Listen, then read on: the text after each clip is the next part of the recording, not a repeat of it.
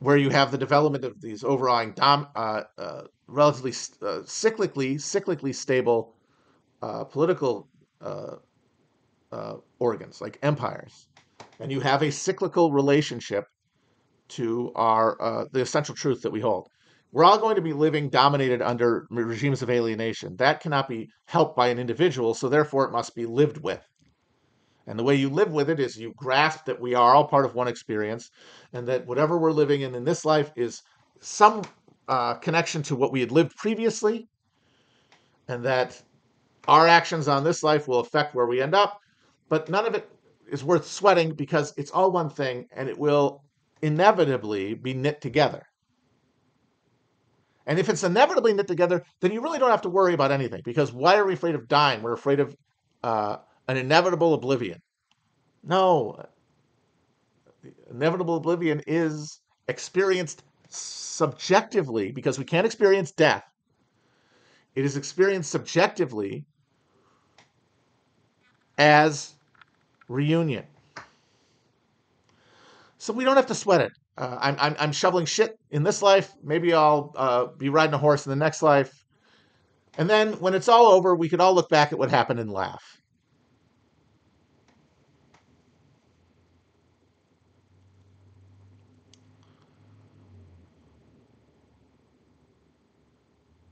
So that's the stable relationship that you have in this verdant reality. But in the ass end of Central Asia, where, where what had been uh, uh, uh, fertile fields become fucking deserts, and you still have, though, these well established agricultural communities that leave a demographic um, footprint that has to be socially related. How is it socially related? By people gaining into tribes uh, and then fighting it out until uh, an empire is formed. It falls apart. The parts fight each other. And amongst these tribes, one of the most marginal established this written tradition around the idea of a uh, uh, transcendental God that they can be in constant communion with through cooperation with their fucking neighbors as one organ in a way that these uh, regimes of imperial dominion in the center do, which is to just reinforce these narrow parochial filial ties, individual families connected root like to a central nerve and uh, a social engine, uh, but arrayed against each other. You have a social organism, and but it finds itself by the time of Christ dominated by these fucking pagans, by these the the the, the uh, Romans who who take the uh, red and tooth and claw world of dominion as right over and stamp it across the entire area and, and stamp the Jews with it too. Because the Jews exist as a patron state to the Roman Empire and as such are subject to it and are influenced by it and it's not it's, it's experienced as like a cultural clash but it is also an imposition of the roman economic model. And christ sees this and how how can he address his specific political reality? To tell the people hey uh, you know the messiah we keep talking about? That's me.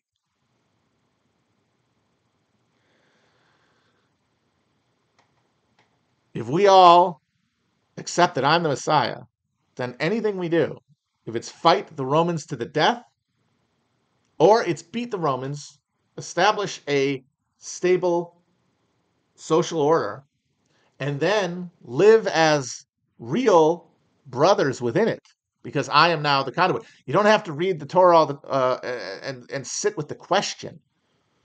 The question has been answered. It's me. Let's go. Because whatever happens, this is the important part we will all experience it together at the same time. It'll either be a Masada, collective Masada, which is still going to heaven, or it will be building heaven on earth. Now, given the conditions he was facing, it wasn't a bad plan, but it was a long shot and it failed. I do think, I've said this before, I think when Christ showed up before Pilate, he expected himself to be saved by the intercession of God in the form of the, the citizens of the city rising as one. He thought that was going to be the trigger point. But they say, now give us Barabbas. You're actually kind of weird. Because, of course, he's a weird guy. He's, he's a weird guy talking to some weirdos.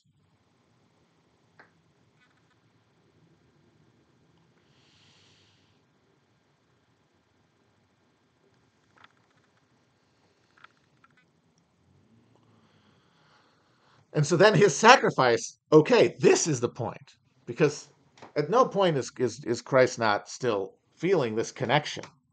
Like he's still wired in. He can't unwire, even as he's being flayed. And I like maybe he did live for three more days after after he got uh, uh, taken off the cross because like it's not like shooting somebody in the head or cut or getting decapitated. You die by asphyxiation when you're up on a cross you could lose signs of life, be pulled down, and then regain it later. It's totally, especially if you go into some sort of spiritual trance, say. You use breathing to focus your your consciousness and overcome sensations of personal uh, of of pain, and like basically glitch out of existence, and then you can come back into your body. You have been resurrected. They've seen it. Now it would have stayed though a cult, except for the fact that Christianity solved a real social problem for the expanding Roman Empire. As the Roman Empire grabs more and more territory, it starts administering more and more alien polities. And that means that social conflict between parts of the empire build up like fucking uh, dirt in the engine.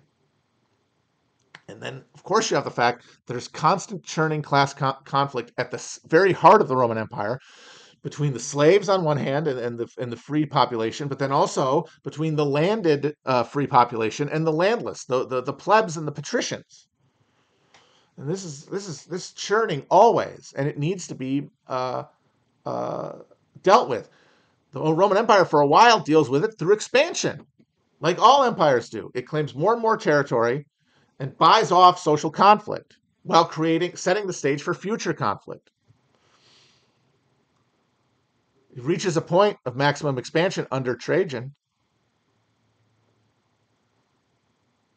and starts to retract. And you see these cyclical conflicts emerge at the heart of the Roman Empire. And it keeps falling and rising, really, but it, uh, dynastically. The, the polity remains for a while because it was so long enduring. And it's hard to get rid of that thing overnight. That means that the, the, uh, the regime's, the mandate of heaven, the regime's social uh, legitimacy is every day undermined. How do you replace that? Christianity is essentially a software patch. And as soon as you get that, as soon as you get the adoption by the Roman Empire of Christianity and the, this new Christian context for sublimating all of the social conflict within the Roman Empire, as it collapses,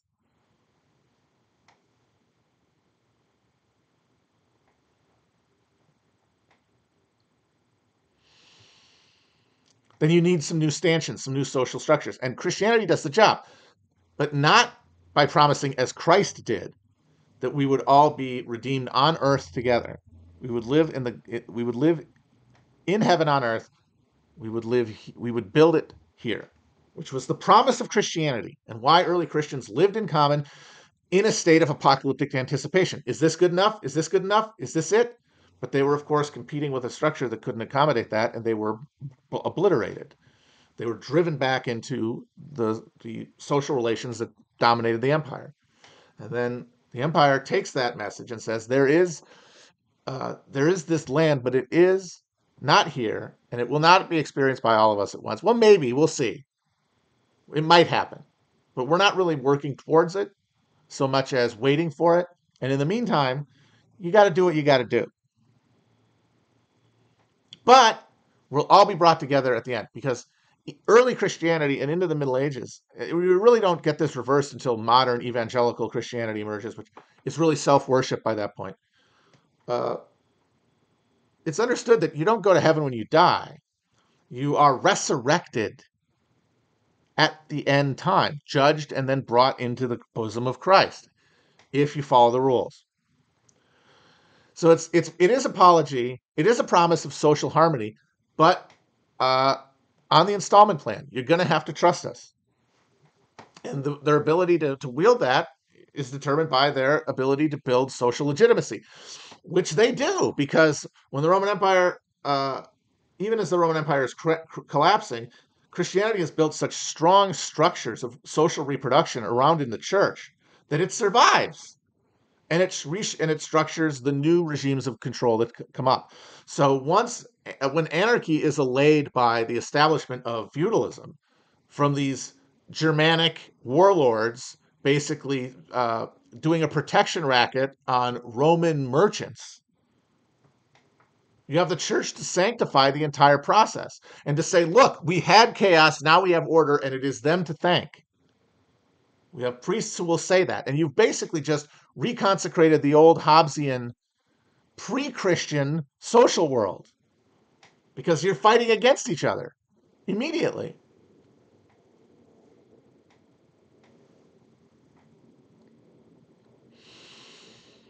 But there's still an apocalyptic heart in Christianity that keeps beating. And at times of crisis, it expresses itself spontaneously as this cultural cry, this yawp, this this this yearning to escape this prison, and the knowledge that if enough of us did believe, we could do it. If enough of us believed, by God, we could do it. Now they set about trying to create believers by doing it at the sword, but the whole time they're making sure that real Christian fellow feeling could never emerge because uh, regimes of labor exploitation, of, uh, of, of serfs working for nobles, rips them away from each other.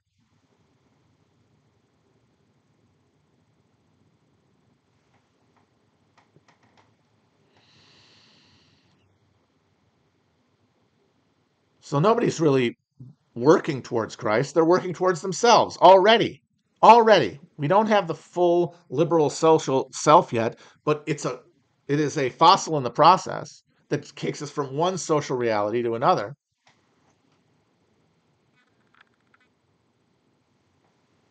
And of course, now the Jews are along, the people who created this fucking thing, and who, because they live, they keep the tribe together, they're able to keep the, the written heart of the thing alive and beating and extend it outward. They become the vent. These are the people responsible. This is why we're not happy. This is why we don't all have Christian institutions, really. This is why we, we, ha- we don't have heaven on earth and they're suffering. It's because the fucking Jews. Even though what they're doing is trying to preserve what they'd had, which the pagans who got converted to Christianity had never had. And uh, there's an interesting reading of uh, the book of Revelation, that which is the evangelical Christian's favorite fucking book of the Bible. It, it, it, ever since the millennium, it's been the one they focus on. Uh, the Left Behind series, all that stuff, is actually written by a Jew, a Jewish Christian, as a warning about what would happen if the religion got consumed by the new influx of former pagan Christians who didn't have a social rooting in Judaism. What would they do to the church? That's why they needed Armageddon to happen as soon as possible to stop that from happening. And so the very people that John of Patmos was worried about are now the people who are most fetishistically devoted to carrying out the book of Revelation. They're the fucking pagans who never had a, a, a Judeo Christian thing is bullshit because Ju- Judaism it gives birth to the Christian tradition, but it is also uh, defined by its rupture with it. So you're saying nothing by saying Judeo Christian. Christian is the pagan world of red and tooth and claw. By this, by this sign of the sword I conquer. God gives me not because God gives me favor, not because I am a member of a group that has obligations to one another, not that I have uh, uh, carried out His will and fulfilled His uh, His uh, commands of me, but because I fucking won the fight. With this new Christian notion that there's a heaven somewhere that believing in Christ will get you there, and it's divorced from the social reality. But the social the social reality that that uh, caused early Christians to start appearing among the pagans, among the slaves, and among the guilty nobles and merchants who were stuck between the two. Merchants first of all.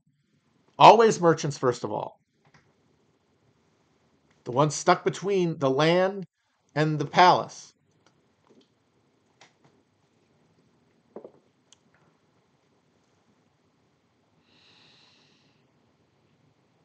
They were adhering to it because hey, this I could live this life. If you're if you're if you're an early if you're a uh, a merchant in uh, second century Roman Empire, the Levant, and you're struggling to live and struggling to survive and seeing horrible violence carried out in the name of the sovereign all the time, uh, you want an escape from that. And if you're a merchant and you're not s- s- uh, tied into a relationship where you are either working for someone or you are dominating and supervising and controlling another, then you can feel the autonomy to try to build that. And they did. The early Christians did try to live communally. But it was not possible in competing with self interest because it is a superior survival machine. But the thing is, we're all on this earth together. We can all fucking cooperate. We can put our heads together. It is not a survival question if we recognize it as such, which is easier to fucking say when you live among plenty, when you live in superabundance, which uh, you don't have where these religions emerge. So when the apocalyptic vision comes to Christianity, as it does at the uh, turn of the millennium, as it does in the 1500s, when the Reformation occurs, uh, it is this swelling yearning to align our understanding, our social understanding, our emotional understanding of what Christ is with the world that we find ourselves living in. And that is all the millenary movements. The Anabaptists, the, the, the fucking Hussites, they're all powered by this. But they can only be expressed through social structures, which are dominated by the owning class. So it all gets institutionally captured. And if there's a rebellion to go along with it, it's put down bloodily. And it's eventually extinguished around the 1700s. And that God dies. The God who's going to bring us all together in a supernatural reunion, in, in a huge God just showing up one day and giving everybody a big hug. Like that as a imagined social reality. Like a horizon that we describe to ourselves, imagine in our minds, depict in our art and reflect back to us aesthetically.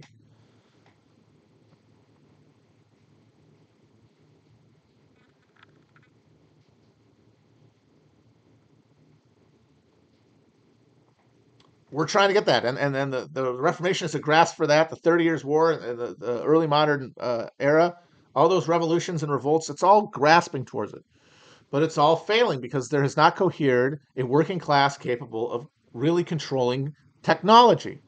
They are still at the ass end of this relationship. They are they are uh, geographically and mentally too far from power to do anything other than provide uh, fuel for an inter ruling class conflict, or rather between one element of the uh, one uh, one element of the ruling class and another, the holders of capital and the holders of land. I'm not a repressed believer. I'm a believer. I didn't used to be, but I am now. It's cool.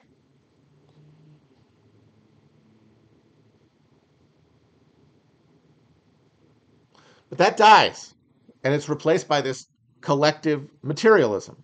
We think we still have Christianity, but we really don't.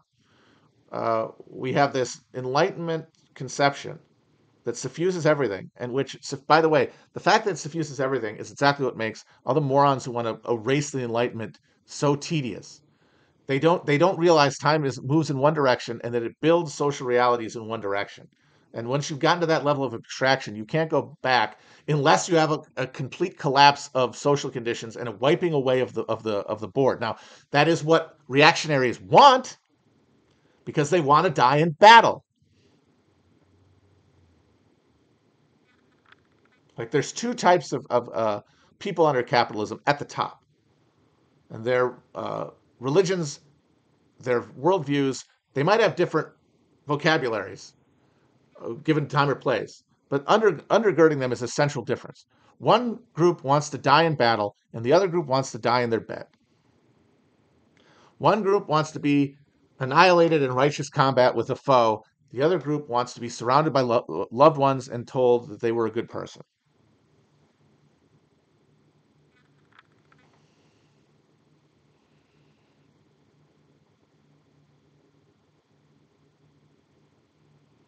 I should write the Orange Catholic Bible, honestly. I might do that. Um, but the urge doesn't go anywhere. It's uh, Christianity is now captured by the ruling power. Christianity means rule by an elite because we have to rule in order to decide who goes to heaven and who goes to hell and all this bullshit. It's all packed up in the church they've built and they own it completely uh, because there's no more social reproduction of it because the the uh, relationship between the peasantry the land-based people and their local religious authority has been uh, annihilated one way or the other. It's been alienated. People have been pulled up, tore out, th- thrown into the cities where they don't have that relationship. So they cannot reproduce God in a religious sense. But because they are the bottom half, they can imagine it in a physical sense. Like, oh, we can have heaven on earth. Not because Jesus is going to show up, but because we are going to overthrow those who rule us and then treat each other the way we, we want to be treated, which we've learned from the experience of being mutually exploited. And so the continuation of Christianity as it unfolds in an attempt to deal with the, the uh, increasing technological regime of accumulation that overawes life on the planet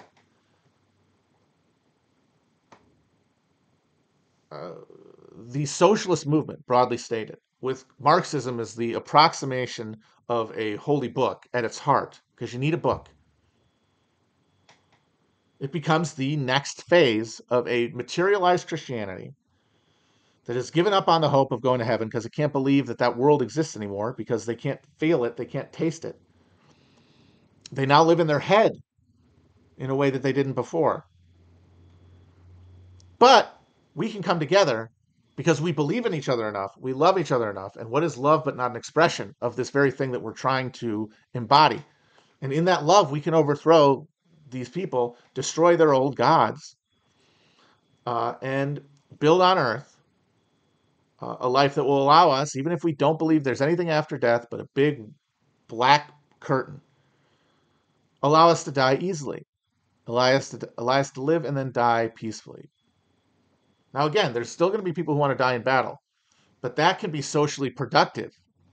That urge can be sublimated into something productive if you're surrounded by uh, a positive social feedback loop. And so that is how you get a society where you've knitted together all these seemingly deep, like this is human nature contradictions. You can knit them all together, but only if you collectively, as a working class, seize control of this machinery. And the 20th century and the 19th and 20th century, from 18, I would say 18, uh, 1789, yes, 1789 to 1945 is Armageddon. It is a series of battles between Christianity, which is actually Satanism, the worship of the self, against Christianity, the, the socially embedded religious tradition coming from the bottom. No, I not. Some, some people say 91, not 91, because as soon as the Yanks get the bomb, the war is over. It's just a question of how long it will take for the armistice to be signed, and it took until 1991.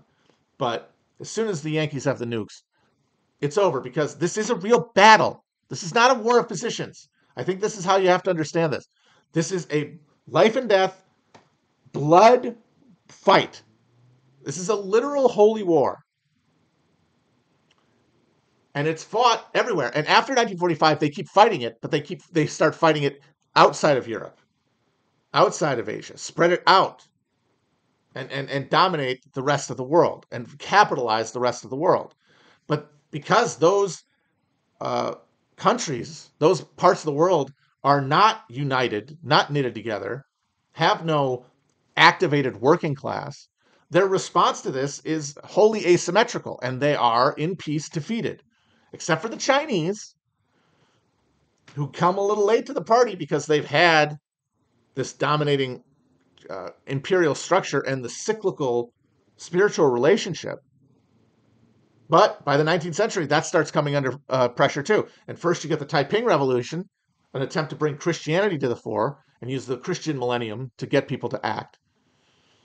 By 1945, that's gone too. That's been extinguished by a, a, a century of, of conflict, and it's replaced by uh, by communism, another European import, another teleological import, because you have to have a straightening of the mandala to, in the modern context, direct social forces.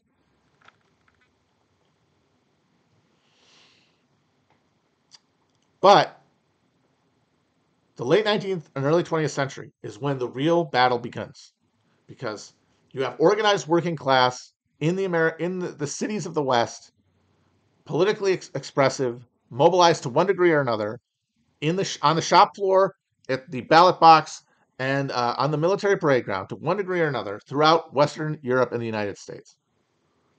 They're in conflict with the state in every case.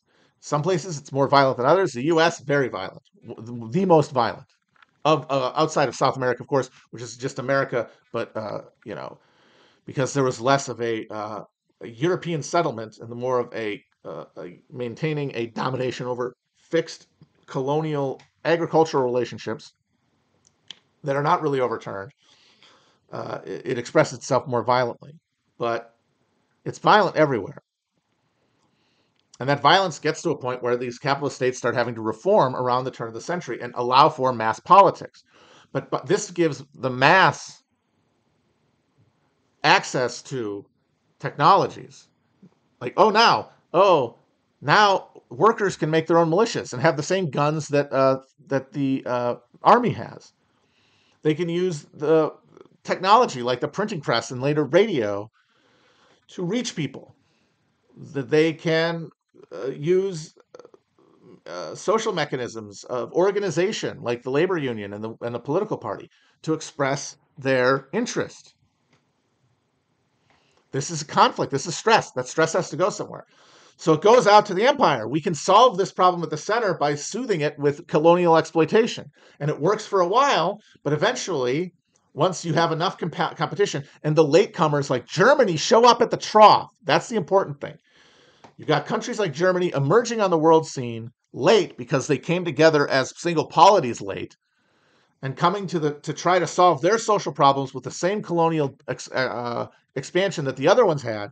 They come into conflict over those things you have a global war that is the expression of this sublimated class war at the center of capitalism.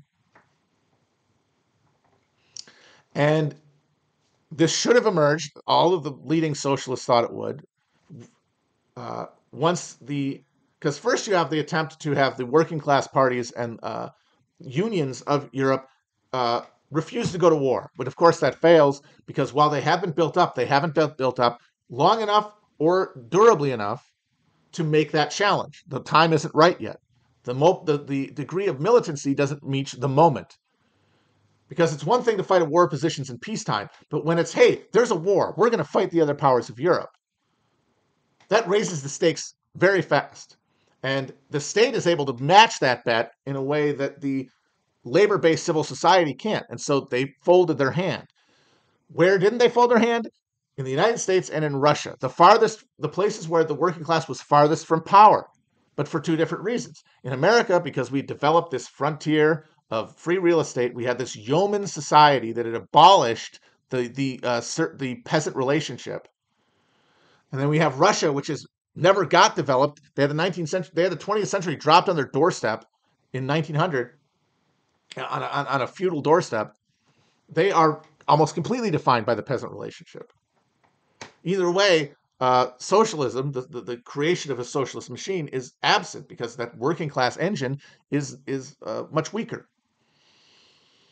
So their stakes are lower. They can say no to the war. You're closer to power, you feel more responsibility. Well, if we're the German Social Democrats and we don't vote for war credits, they're going to kick us out of power because the people are also nationalistic. Well, shouldn't we stay in power? Isn't that better than giving up these controls? Yes. And then they do it, and there you go. It's over. then the war ends with revolutions, with r- real social conflict in almost all these countries, which was inevitably going to happen because there had to be it was going to return to the metropole and to the countries that lost it was going to return harder. And it did. The thing is the country that lost world war one the worst was russia. They lost so bad that they were effectively out of the war uh, a year early because their because their working class was so uh, we feeble so was their bourgeois so they couldn't make a bourgeois revolution. They could try, and they had a thin veneer, uh, veneer of one, but it could not hold power, which is why the Bolsheviks were correct to rise in October. There was no what what everybody else thought. The Mensheviks and the SRs thought is, uh, we'll let we'll let them cook. But the thing is, they were not going to cook. They were going to be overthrown by the military because the bourgeois was not strong enough to do it. But the thing that got them going out out and seizing was not just that, the tactical thing, because the tactics only get you so far. The Bolsheviks were religious believers. They believed in this extension of the cosmic conflict between good and evil that is going to be resolved at Armageddon. The, the, the thing that fueled Christian eschatology, the, the, the heart in the heartless world that Marx talks about when he talks about religion. The thing that made them Bolsheviks in the first place and able to recognize the moment and able to act so decisively is because they thought we're going to trigger a world revolution that is going to, even if we die fighting, we will die building something. We will not surrender to capitalism, which means we will die together, either in par- either paradise we built on earth or a paradise of action where we are building something.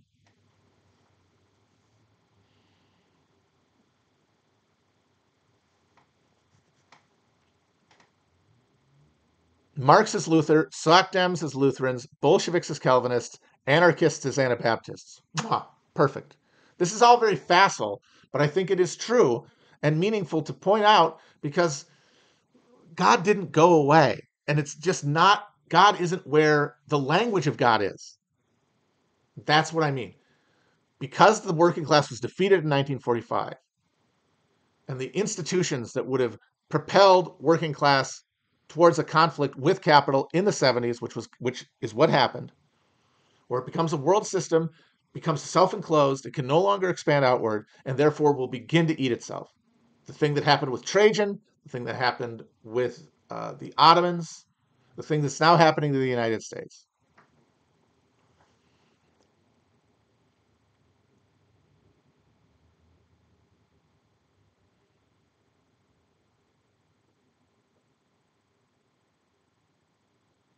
And we have these, we had institutions that could uh, articulate a social vision of, uh, of apocalypse to go with the religious fire and brimstone nihilistic uh, fantasy of oblivion that uh, Christians believe in.